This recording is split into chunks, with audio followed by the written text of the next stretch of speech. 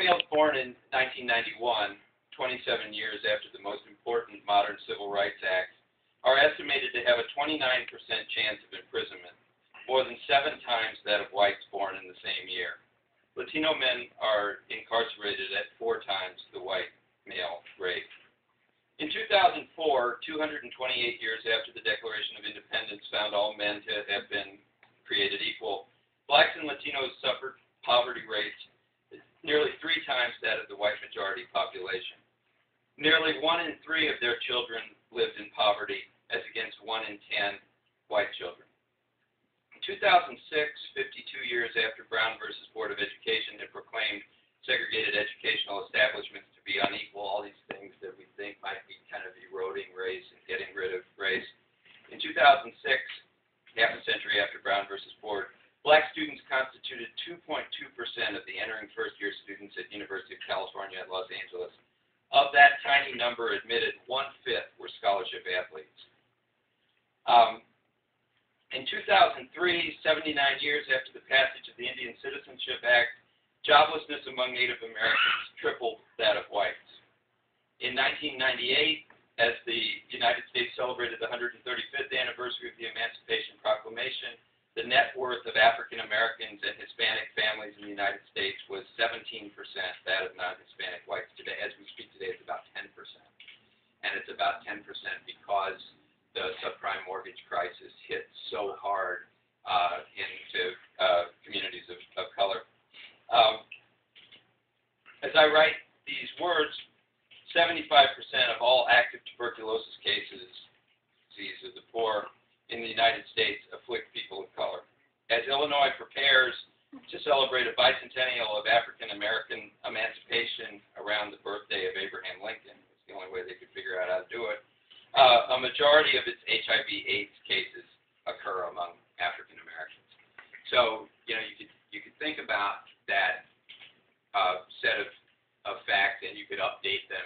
Uh, I gave you the update on wealth. There's a wonderful study from 10 days ago by the American Association of Retired Persons that actually looks at the at, at black people around my age in their 50s and 60s and tries to to uh, think about their life prospects.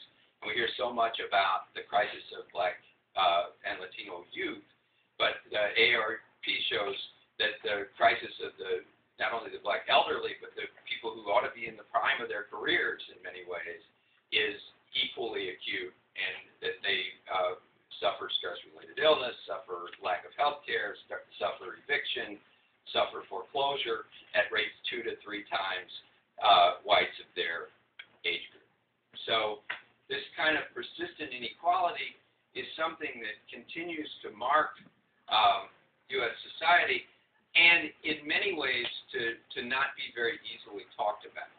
Uh, and to not be very easily talked about um, even uh, in the case of the Obama run for the presidency. And I think the foreclosure crisis, the subprime mortgage crisis, is a tremendously important uh, marker of this because none of the Democratic campaigners talked about this racial disparity in uh, home losses uh, at the time, and that didn't keep race from coming up, race and foreclosure from coming up, but instead it ensured that it would only come up when right wingers raised it, and they raised it not in terms of the historic inequalities in race and lending and in uh, segregated housing patterns uh, in the United States, but rather in terms of some wild uh, supposed conspiracy of liberal lenders to somehow try to give uh, people of color a break in extending